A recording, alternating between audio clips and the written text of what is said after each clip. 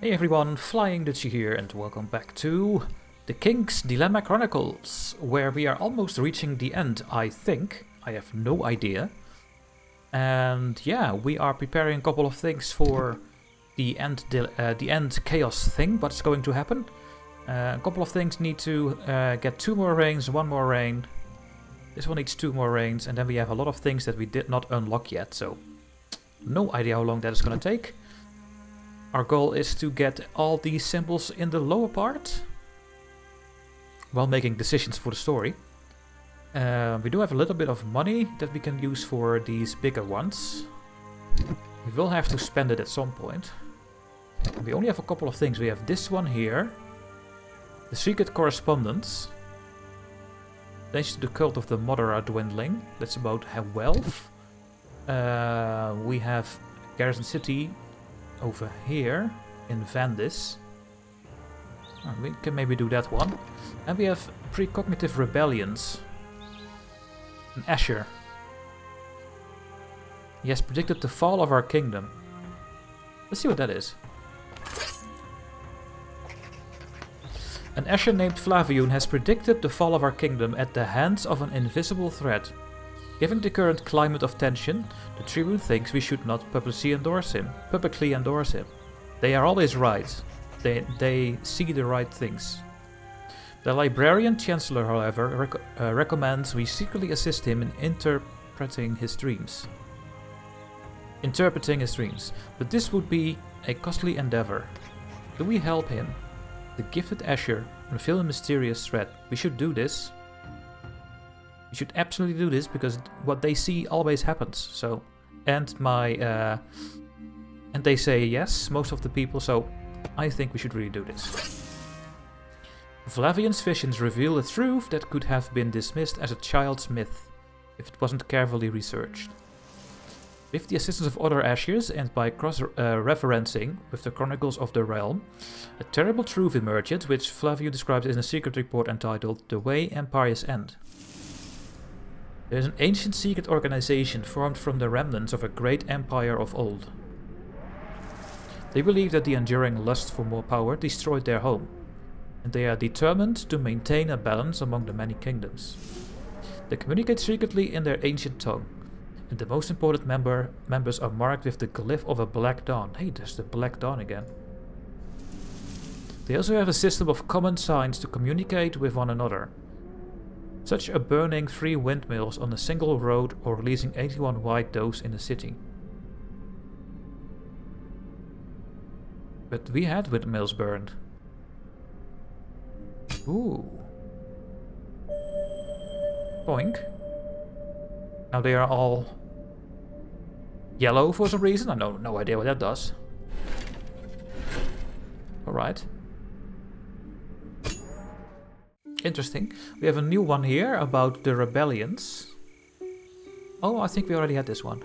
And we should do something that can lower this thing over here. Do we have that? we have something with money? Well, maybe we should do that one. Secrets from the far. Cost a bit of money, by the way. A naked corpse has been found in a swamp in the Duchy of Natar, near the Monastery of Lorraine. Some locals are troubled by the sun symbol branded on the skin of the corpse and demand answers. The royal marshal dismisses them as superstitious simpleton, sim simpletons and suggests we let it rest. Do we launch an investigation about the corpse found in the swamp? Oh, that's annoying. Well... I think we will do this. Because if I do this one, then this gets too far down. And we can put this thing down later. You know? It also only costs me 2 power. I don't want to put this further down because then my, my balance is going down as well. My balance should go up a little bit, I think. Let's just do this one. The face of the corpse is disfigured beyond recognition, but the librarian chancellor finds clues regarding the sun mark that was spotted on the corpse while reading a tome about a history in the southern Ivory Desert. The symbol associated with a power said to rise after the brightest white sun, able to restart time itself. Our investigation probably scared the culprits, though no other corpses are found in the following months. Okay. Hmm. And we have nothing new, so we cannot put this thing further down. Because we don't have anything of that anymore. Uh, we can put these ones up or this one down. Maybe we should do this one. Because that is about these two things.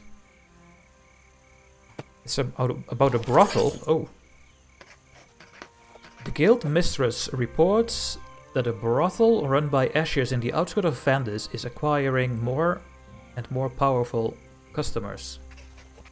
These Asher courtesans seem to possess the ability to anticipate their clients' most secret perversions. Some say it is an affront to decency. To decency, right? Uh, but it's also a booming business activity. Do we close the booming Asher brothel? If I... I don't think we're gonna close it then. Because if I do this one... If I do this one, this will drop to all down. Well, we will say no. We should not police our people's secret pleasures as long as they are consensual. However, some suspect that the council members themselves are not strangers to the to the debauched places. Visions of delight. Since the first one was opened in Vandis, Asher brothels proved extremely popular, becoming a new stable source of income from the kingdom. These people can actually see uh, what people like, because they have this vision. And we have a new one over here. About the garrison uh, city in Vandis again. It is with the... Um, was it again this one? Influence. And the flag one. I also have something with only the flag, but that costs 5 gold. I don't want to spend 5 gold. We can do this one as well. Let's do this one. Precognitive rebellions. Lieutenant Larzo of the army has been discovered to secretly be an Asher. He found a way to avoid the grey mark by keeping ash bread consumption at a minimum, but he still retains some divinatory powers and has risen rapidly through the ranks. Many soldiers now feel uncomfortable serving under him and the High Commander recommends he be expelled, but his skills may prove to be useful. Do we dismiss him? Of course not. If we say yes, it would be perfect for us, but we will not do this, of course. Of course not.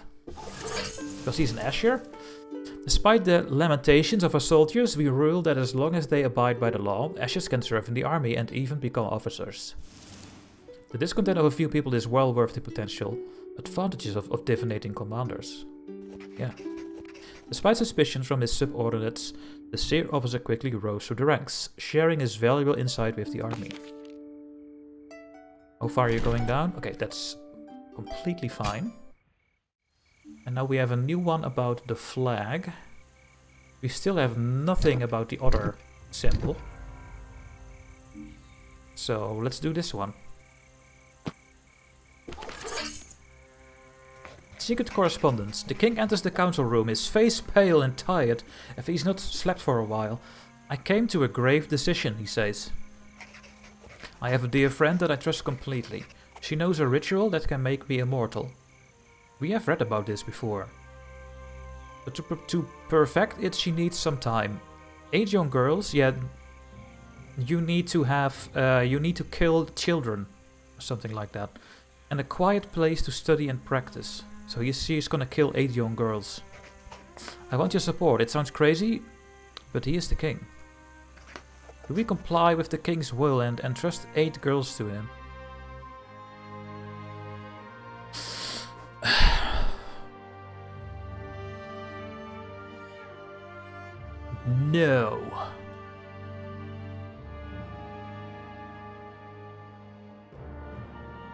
Gonna cost me more power. No. For the king's own sake, we decide to reject his request. We can't allow him to be stained by such a crime. He mutters something about his impending death and leaves the room. After a while, the Chamberlain brings us a letter he secretly retrieved from the king's chambers. It proves that Celestina and her followers were behind the vile request. After refusing to hand over eight girls to a certainly grim fate, Celestina seems intent to proceed with her plan on her own. Sisters of the Unending, a heretical whatever, comrades, begin causing havoc in the realm. Followers, I guess.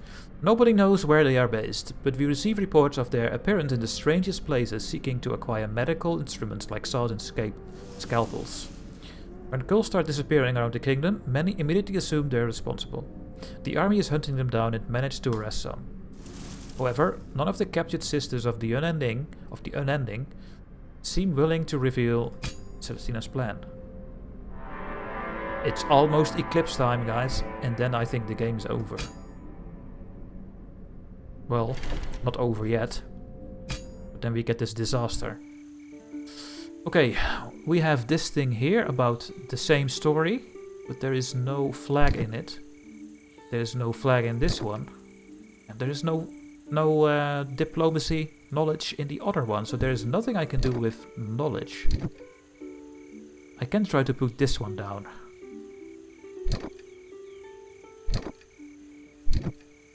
We can do that with this one, I guess. We still have some time, so we don't have to do the most ridiculous decisions yet. During the early chaotic days of their presence in Vendis, some of the soldiers sent to disband the defenders committed several justified acts of violence at the expense of innocent people. Yeah. They did. The victims demand justice, but the High Commander dismisses the episodes as regrettable but accidental mistakes, an unfortunate side effect of the delicate situation. Do we punish the guilty soldiers? Oh. Ooh. I can't do this one, because I don't have enough power. I will have enough power if I bribe someone, but then I lose all my money. So... I would love to pick this one, but I don't think we can. Well, we can. But we don't have to do it for a crown, so they are lucky, I guess. Given the difficult situation Vendis at the apex of the Defender Ventus crisis, it seems appropriate to turn a blind eye to such venial sins. The honor of the soldiers will not be tarnished, tarnished, but the Council's perceived lack of protection for the victims of abuse puts a pinch of salt on their still open wounds. Abuses of power. We didn't punish the abuses of power of our soldiers. And okay. Yeah, I would have picked this one, but it's really hard as a council head to do this when I need to do other things. uh, um, is there anything else that I can put this thing in the right position? I can do it maybe with this one. That's the only thing I can pick, really. Or I spent 5 gold. Maybe we should just spend 5 gold. You know what? A wave of violence. Sail, a merchant from Alwet, with a stylized sun tattooed on his wrist, is one of the most violent leaders of the Defenders, suspected of hanging at least five Ashers in the past few months. The Tribune thinks a public execution would bring relief to the families of Sail's victims, but the first judge says we have insufficient evidence to incriminate him. Do we order the execution?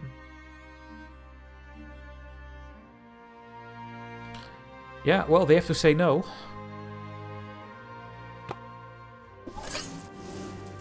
There can be no conviction without conclusive evidence. There can be no law if the lawmakers themselves don't abide by it. Sail is released with only a warning. Yeah. Title separatists. Though we spare this punishment, Sail harangues his followers with accusatory speeches against the council, sparkling an independence movement. Free Tyrell becomes a worryingly widespread, uh, widespread motto. King is alive, and we have four in the right order, so we have now five and one. And we don't get anything new. Shoot. Must be because we are at the end of the story. If I do this one, I think we have a big chance of getting one out of the of the zone.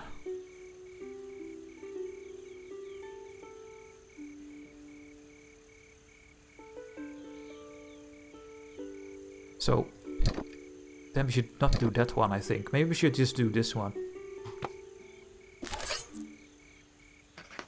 Donations to the cult of the Mother are dwindling. The prior Mother wants to give the option to, to believers of the Mother to pay all of their taxes exclusively to the cult instead of the kingdom. No. Do we allow that to pay tax to the cult? No. I can't change it. No! You don't have enough resources. well, I have no other... I cannot do anything else, guys, so... I don't want this. Temples become lavished in gold, attracting numerous followers and boosting the morale of the people. The royal treasury unfortunately suffers from a significantly reduced income. It's exactly not what I wanted, but there we go. The ecumenical tithe we allowed to be established continues to cause a heavy drain on the royal treasury. What a disaster. And the king is still alive.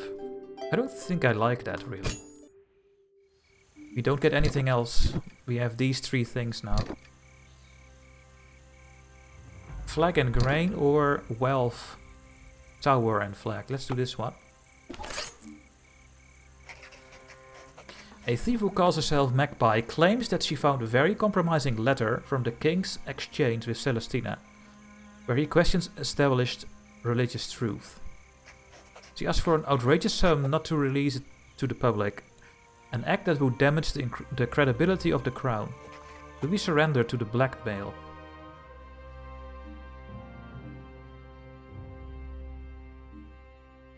We have no other option. I can't do this one because we don't have enough power. So... And I have no money to bribe them, so I have to say yes. I have no power. We give in to the Magpie's blackmail, bringing 11 perfect diamonds to an agreed location, where we find the incriminating letter. Its content is indeed damning, as the king expresses doubts about the very divinity of the mother. He even quoted the historian Herod's controversial theory she was just a powerful ruler of a long-forgotten empire. Once the rumor spread that we negotiate with blackmailers, we started to receive unwelcome criminal attention far uh, more frequently.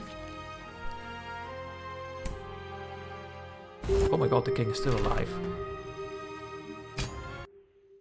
We a new one. This one. An enemy clothed in shadow.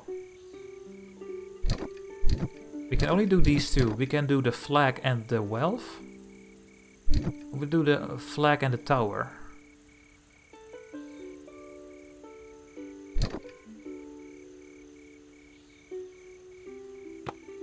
Let's hope they stay in. We want to abdicate, really. A plague hits, uh, hit uh, in the Duchy of Olwyn. Promptly named the Red Scythe, the infections make people re re regurgitate blood until they die. Is that uh, leaking blood? At the potential cost of condemning the seemingly unaffected citizens, the Holy Attendant believes the entire city should be quarantined to prevent the plague from spreading. Do we quarantine the plague city, sacrificing the healthy citizens? Now I can choose a bit. And we are gonna do this one because... Well, I actually want to know what happens when we get all the way over there. I think we get two extra crowns. So... Then I have to pick this one and lose one more power. Because if we do this one, we will have... We will abdicate. So let's do this one. Maybe the king dies, but let's see.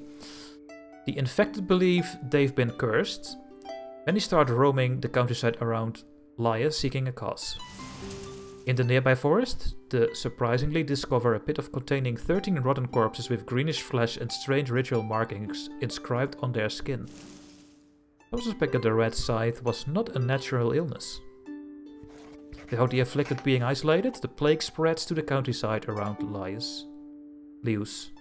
Fortunately, the region is sparsely populated, so we avoid a mass pandemic. Okay, he died. Unfortunately. We get 5 and 1. The king is dead. We have 5 and 6 now. And we get a rough start. Achievement. I don't know what that is. I have no idea. Ooh. I hope I get more crowns, by the way. Um, so... Did, I still don't know if I get this. Did I get a, did I get the extra crowns? I guess I did. We can try to get the opulent bonus. Maybe we should just stay moderate. Can do it. Yeah, yeah, yeah, yeah. You, we get all the bonuses. Okay, that's really good. Can we do something more before this game ends? Did we open something? Yes. Study techniques for extracting information. To open that one. Hire Larzo as a high officer. That's the Asher one, right? Yeah. Love to do that one. And we can build metalworm catapults. Oh, that sounds fantastic. I want that one. It can be completed in time. Similar firefighter squad. The team specializes in extinguishing fires. Their efficiency and reliability could be improved by providing them with large quantities of water. Mm-hmm. This takes one turn, this takes two turns. This takes one turn. I think I want him because he is an Asher, he can he can foresee everything.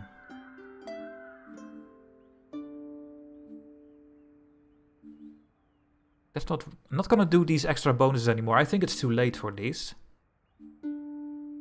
To be honest. Let's just commit to these end uh, end dilemmas or something.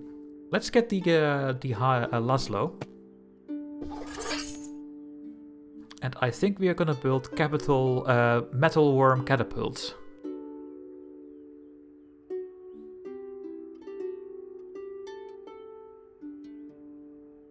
Wasn't there something for free food that we need to do? No free healthcare, but how Business and politics.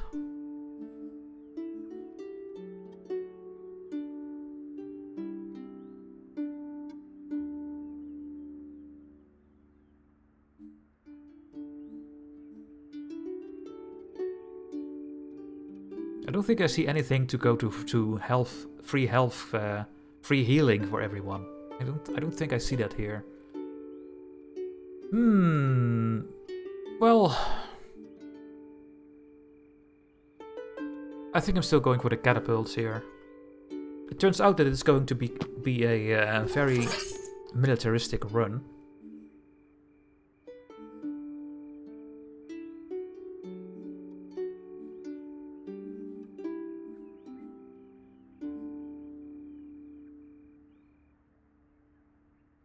Underground structures and tunnels can be good.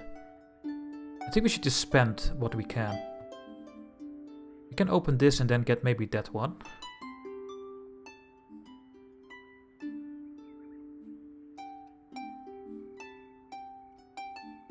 Yeah. We will get the research uh, Libra's geology. No idea if that will be in time though. Free healing, yeah, I don't know. I have no idea how to get this then and assert the dominion of knowledge over spirit. I think we went the wrong way with the story because we have a mixture at the moment. You are in the in the in the council. You are, you are, you are, and you are. We could get an alliance, but let's spend my money on um, things need to click. We have only two things we can pick.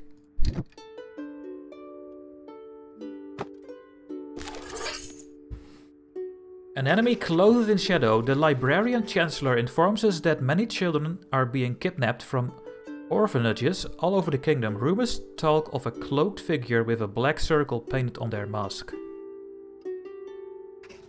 You could re uh, relocate all orphans to a single large structure where they could be better protected and educated. Yet it would be an extremely expensive project. Do we fund the construction of a centralized home for orphans? Oh. Well, it seems like that everyone wants this, so... And I agree.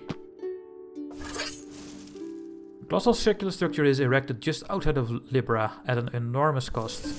Orphans from all over the realm are relocated to the new institute, a safe haven, where they will not only be better protected, but also educated and cared for. The institution is dedicated to e Egna, the saint daughter of wisdom and education. I like it. The many lost children hosted at the great orphanage cre uh, we created are not only protected, but also well educated, so they can contribute to the progress of the kingdom. Perfect. Well, there's only one thing we can click, so... An enemy clothed in shadow. Celestina sent us a sinister message.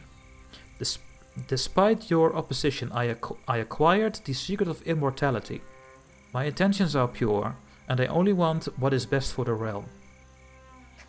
Let me join the court and I'll make your ruler immortal. Keep fighting me, though, and the power of life and death shall be wielded against you. Oh my god. Oh my god. What are we gonna do now?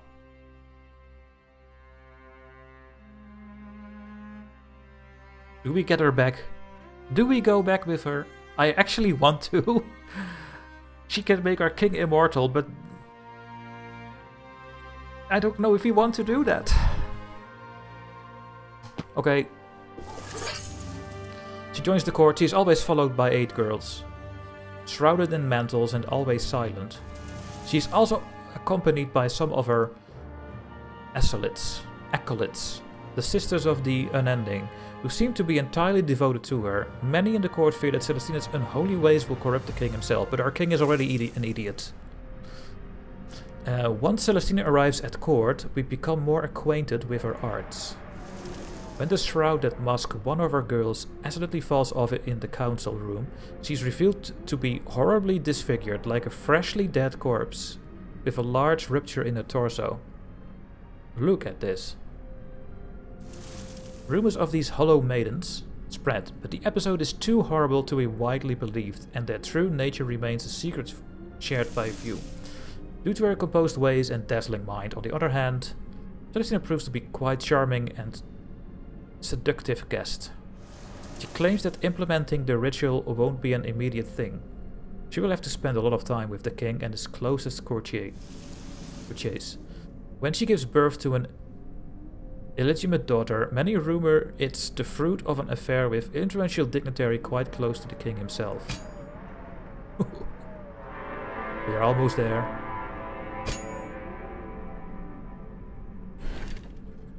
Oh, I did not expect that to be that harsh. Oh, and now we have new things, so let's see what we need to do. We need to put this up. No matter what. It's just one story left, um, so we are gonna do this one then. Gonna cost some money. The rector received an anonymous letter marked with a black circle, containing an ominous warning. Creatures like the Hollow Maidens already existed in the past, and whoever is accompanied by them, if not stopped, is bound to become the most powerful being in the world. Let also recommend we investigate an ancient monastery in Sid Lada. Do we send someone to investigate this? I can't do it! Oh, we are gonna lose anyway, because everything will get out of the the thing. So it doesn't matter which one I pick. Because uh, the king will abdicate anyway. They are both going down. Uh, so it doesn't matter because this one will stay in. It will give me more black crowns, but no, we need some white crowns too. So we are going to say yes and then abdicate. A small delegation of scholars is sent to the southern kingdom of Sidlara, which kindly allows us to investigate their monastery. Uh, the scholars find an apocryphal an apocryphal chronicles talking about the first king's campaign of conquest. They suggest Omad was aided in his epic quest by a few trusty champions, eight fierce and apparently unstoppable female fighters. Oh. Information obtained in the Sidladian Sidladian monastery led our scholars to search the royal library for more references to Omad's champions, trying to reinforce the connection with Celestina's hollow maidens. And dead. Dethroned. The king was dethroned, and we don't get any rewards. Because we didn't take uh, three dilemmas. There was nothing we could do about it. Do we get these bonuses? Yes. Aha, so we found some sort of exploit. We have a new one. Build a ditch. By the walls. We have small openings in walls through which objects can be dropped on attackers. And we have a warning beacon tower, an advanced alarm system that allows us to quickly inform our allies in case of attack. Do we have allies? I don't think we have any allies. but we are gonna pick one of them.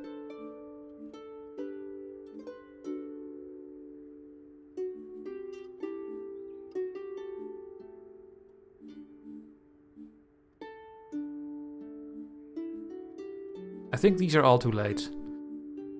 Let's get the fire squad. That's taking one turn and gives us an end thing. You're all still in the council. We do have a lot of money though. Let's get an alliance here with one of them.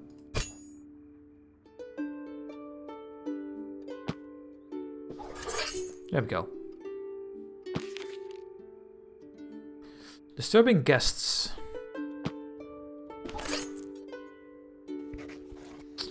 During her first years at court, Celestina allegedly had a torrid affair with a court scholar named Rilat. Unfortunately, Rilat's diary was stolen, and copies are being sold to the nobles of the court. The Holy Attendant claims that the diary reveals embarrassing details about Celestina's private tastes and wants to ban it. I don't want to ban it, really. No. Oh no, everyone wants to do this. Really?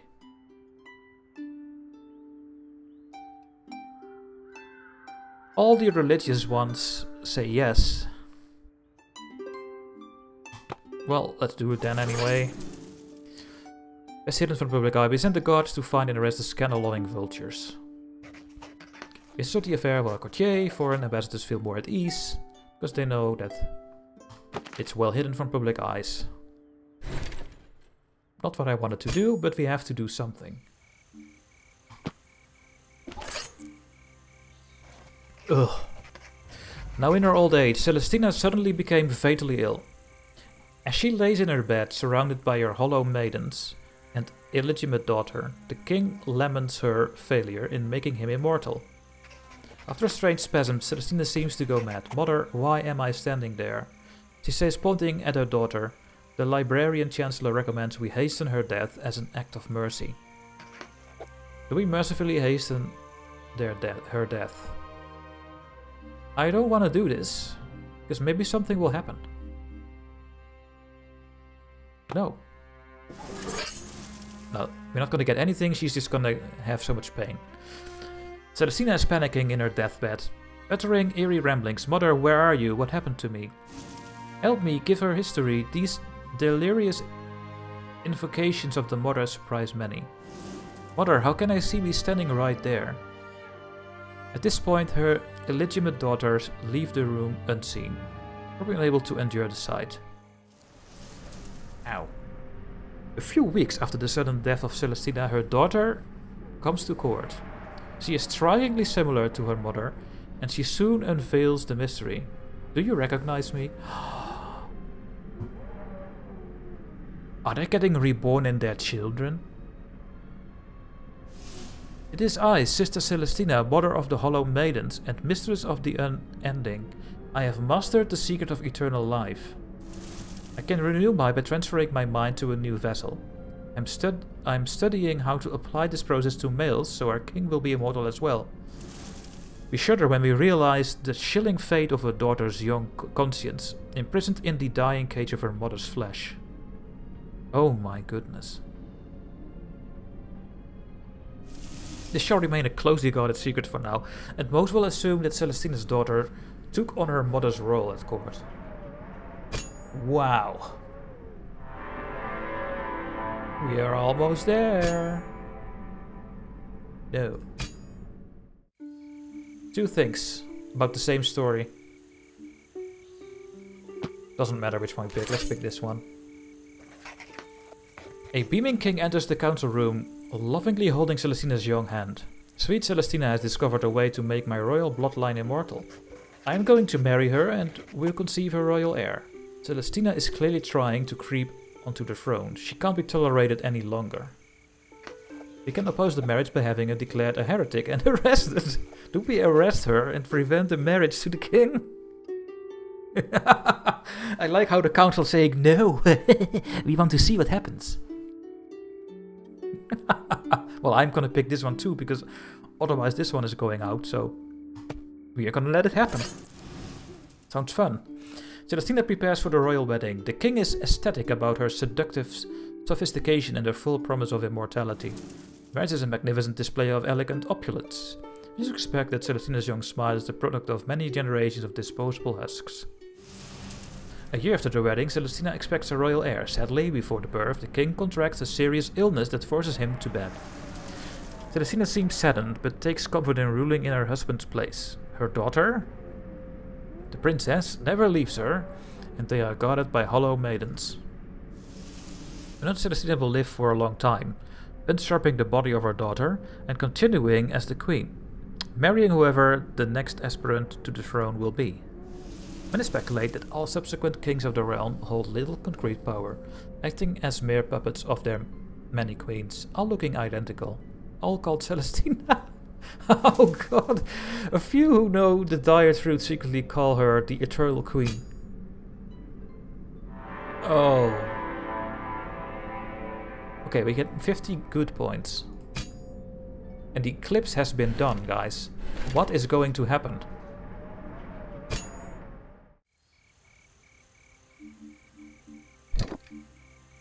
It's all about a, a new Celestina and the Eternal Queen. oh god. I like this story. It's uh, it's ridiculous. And I like that. Thanks for watching guys. We are going to continue in the next video. Make sure to like, say something in the comment section, and I see you soon. Bye bye.